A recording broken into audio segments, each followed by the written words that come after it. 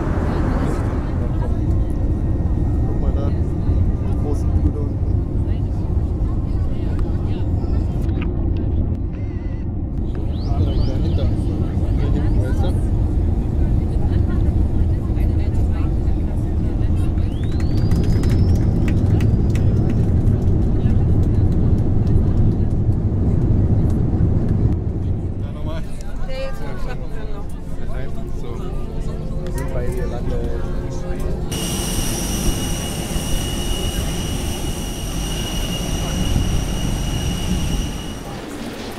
Hey, hör auf mich zu filmen. Die Sache Krieg ich nicht hin mit der Sonne. Nicht nach Das kann gar nicht. Das kann ich nicht halten. Willkommen in unser Zimmer. Hier halten wir uns eigentlich so gut wie nie auf. Deswegen ist es auch noch so ein bisschen aufgeräumt.